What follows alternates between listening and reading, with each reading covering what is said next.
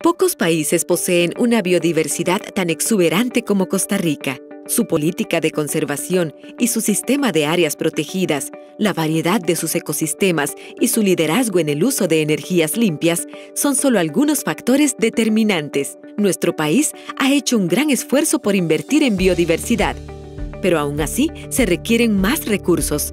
Al existir una situación fiscal estrecha, los aportes estatales se ven limitados y por el desarrollo que el país ha alcanzado, cada vez hay que competir más por los recursos de cooperación internacional.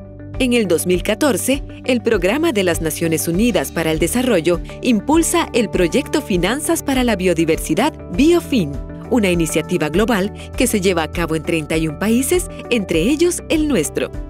BioFin facilita un cambio en la forma en que los países abordan el financiamiento de la biodiversidad con el propósito de hacer un mejor uso de los recursos existentes y movilizar nuevos fondos mediante mecanismos financieros novedosos. Para ello, el proyecto realiza las siguientes acciones. Analiza las políticas del sector y la institucionalidad que las respalda.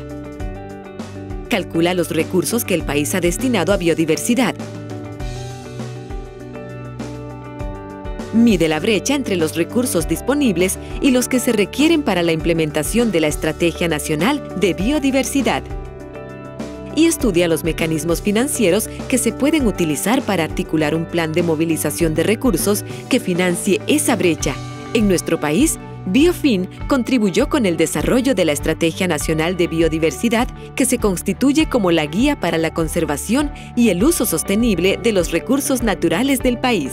La estrategia identificó los programas y proyectos activos y definió 18 nuevos perfiles de proyectos, cuya ejecución requiere entre 25 y 50 millones de dólares anuales adicionales durante nueve años.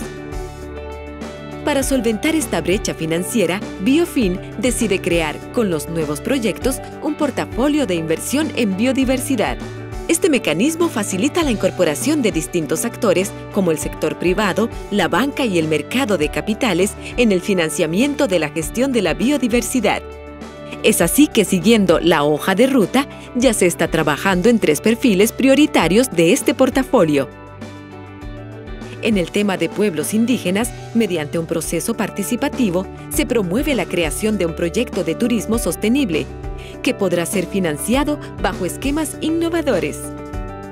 En el perfil dedicado a la promoción de prácticas productivas sostenibles, la banca local, con el apoyo de la banca internacional, destinará recursos económicos que permitirán a la pequeña y mediana industria transformar sus procesos productivos en ambientalmente amigables, inversión que el sector empresarial considera una ventaja competitiva. Finalmente, para pagar deudas existentes y futuras del Estado por la compra de tierras en áreas protegidas, Biofin ha propuesto la emisión de un bono verde por medio de la titularización de flujos futuros de recursos sugeridos.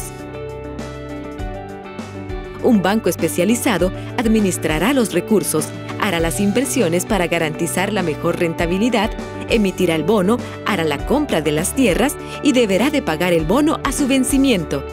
Biofin apoyó la formulación de la Estrategia Nacional de Biodiversidad, realizó estudios y encuestas a diversos sectores de la sociedad y desarrolló una plataforma en línea para el monitoreo de la Estrategia Nacional de Biodiversidad y sus proyectos. Biofin fortalece la institucionalidad del país llevando propuestas a la acción, colocando recursos para cuidar y hacer uso sostenible de la biodiversidad de Costa Rica. Biofin, Finanzas para la Naturaleza.